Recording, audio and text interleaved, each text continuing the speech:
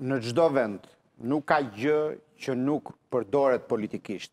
Por mendoj që le të themi, ka karar çdo gjë nëse do shpreh do përdor një shprehje popullore. ë Unë mendoj që nuk ka arsye. Okej, në sasinë e parë të mbërritjes është një lajm i mirë për gjithë Shqiptarët. Jemi i vetmi, ë, mos harro përveç Serbisë, i Jo, jo, vetmi, jo, vend se që do kemi. të e ka marrë zoti Nikolla, e ka marrë shifrat, nuk jemi i Në nivel vetmi. global e kishim në lajme para se të futeshim në këtë studio, Shqipëria është në vendin e nëntëdhjetë e dytë me zero, presje zero një për qind të Dëgjoj, unë, popullsisë së unë, unë, vaksinuar. vetëm për diçka habitem.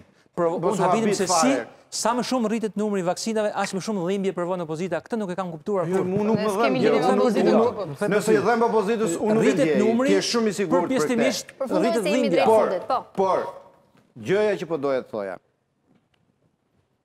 Publiciteti i tepërt ka një moment që shndërrohet në bumerang. Dhe unë mendoj që jemi plotësisht të informuar në këtë fazë, që vaksinat po vijnë, mjafton edhe një komunikim publik, pa qenë nevoja që kreu i qeverisë, i cili ndërkohë mund të bëjë ca punë të tjera, ta shoqërojë kutinë si shoqërues i dhëndrit Kudo ku i shkon mbrapa... Kikia, ti je gazetar, je gazetar, po shumë i mirë. Po doja ta...